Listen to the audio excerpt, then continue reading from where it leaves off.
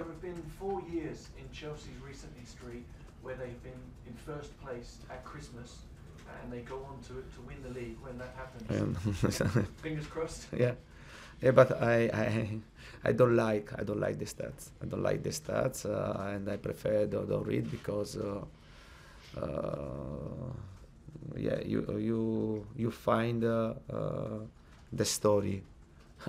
you have to write the new story. We started uh, uh, without uh, without great ambition for for for the people for the people. And I think this season